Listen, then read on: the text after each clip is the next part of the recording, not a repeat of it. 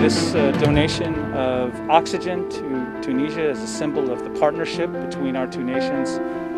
and between the people of Tunisia and the people of the United States. Uh, together, we've been fighting this horrible pandemic uh, for the last year and a half, uh, and we look forward to continuing to work closely with Tunisia side by side to overcome